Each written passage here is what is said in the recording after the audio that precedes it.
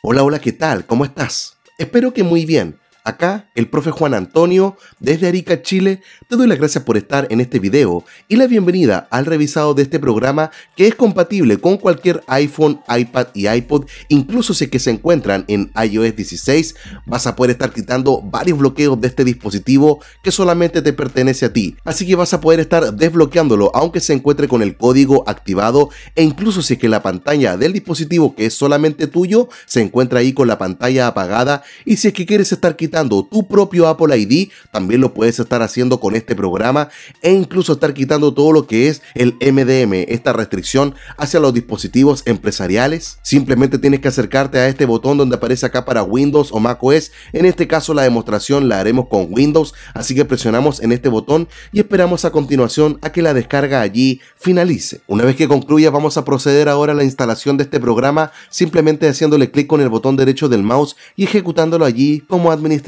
cuando aparezca esta ventana, tocamos acá en aceptar los acuerdos, tocamos acá en Next, otra vez ahí en Next en siguiente, le damos otra vez en Next y finalmente en instalar y esperamos a que finalice esta barra de progreso. Una vez que termine, simplemente presionamos acá en finalizar y aquí lo vamos a tener. En primera instancia nos muestra cómo estar desbloqueando el Apple ID que es tuyo en tu dispositivo. Simplemente presionamos en esta opción y tenemos que estar siguiendo todos los pasos que nos muestra acá. Hay que aclarar que esta situación va a estar quitando el Apple ID y va a borrar toda la información del dispositivo. Pero al final de cuentas, como es tuyo, lo vas a recuperar y va a seguir funcionando. Tenemos también la opción para estar quitando el código ahí en la pantalla de bloqueo y al igual que recién presionando acá en Start y siguiendo ahí los pasos vas a recuperar tu dispositivo. Acá nos aclara que también la información va a ser eliminada del dispositivo, lo va a estar actualizando a la última versión de iOS disponible, pero al igual que recién, como este equipo te pertenece a ti, lo vas a estar recuperando, que es lo que importa. Luego tenemos acá el desbloqueo del tiempo en pantalla,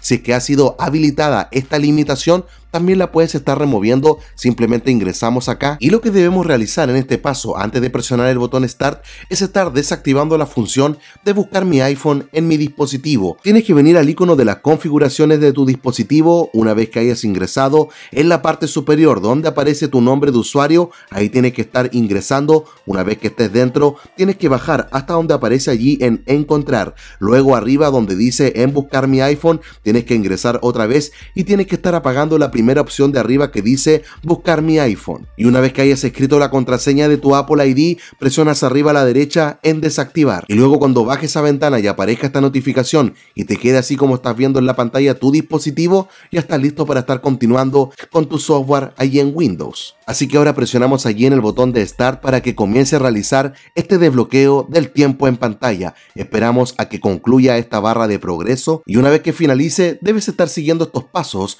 que son los que te voy a mostrar a continuación. Y lo que va a pasar ahora es que tu dispositivo se va a apagar y a encender y cuando vuelva a prender vas a tener esto en la pantalla. Simplemente tienes que tocar allí en el botón de continuar y esta parte es muy importante. No tienes que tocar en continuar sino que en la opción de abajo que dice personalizar una vez que hayas ingresado, tienes que tocar sí o sí la última opción que dice no transferir aplicaciones ni datos y luego acá tienes que colocar otra vez la contraseña de tu Apple ID, tocas arriba a la derecha en siguiente y esperamos a que termine esta configuración, luego tocamos abajo acepto para estar aceptando los términos y condiciones, esperamos a que continúe esta configuración de iCloud, luego tocamos acá en el botón de continuar y este momento también es muy importante, no tienes que tocar el botón de continuar sino lo que aparece abajo de agregar después en configuración. Luego le damos acá en no compartir, le damos acá en continuar, otra vez acá en continuar, tocamos en empezar y listo, ya hemos regresado para estar utilizando nuestro dispositivo con toda normalidad. Y la última opción que vamos a ver es este, el desbloqueo del MDM de los equipos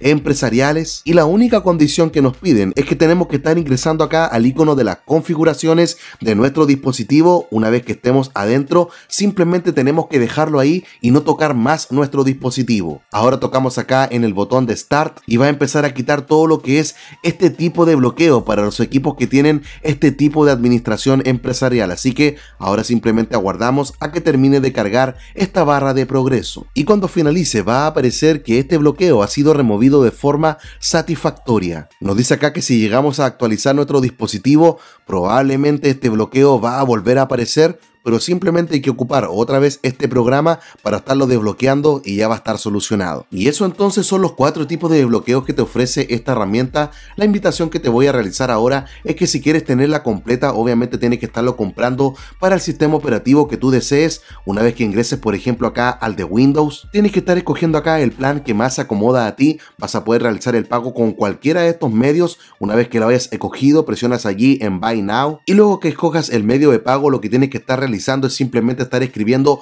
este código de descuento para que aparte de lo que te ofrece la página, tú puedas tener un descuento adicional para que puedas estar disfrutando esta herramienta con tantos tipos de desbloqueos que te ofrece para cualquier iPhone, iPod o iPad, incluso si se encuentra en iOS 16.